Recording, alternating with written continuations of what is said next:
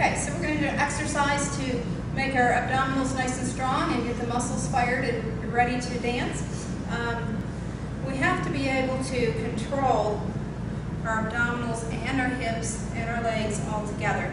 So what Ada's going to show here is this exercise to really control and stabilize the um, pelvis, the abdominals, the back, and the legs. So what she's going to do, she's going to start her arms over her head, and her legs are in tabletop position, pushing into the ball, nice and even. On preparation, she's going to come up, don't leave the legs, come up, brush your arms through, palms up, keeping this nice and tight, and looking past her legs. As the music starts, we go up, one and a two, lower to a V position, as low as we can without losing this, and pull the knees back in. Okay, one more time. So we go up, one and a two, and in, four times.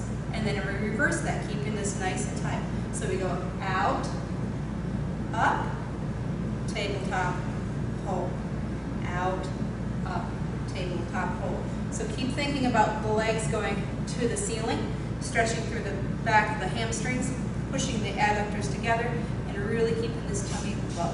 Okay, relax. Good. Let's all try it.